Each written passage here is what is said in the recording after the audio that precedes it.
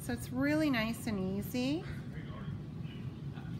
Oh, And just go, just really gently across her body and it'll just pick up as you go. And what's nice about it too is it's gentle enough that you can do it on her, right on her legs too. Yeah. Yeah.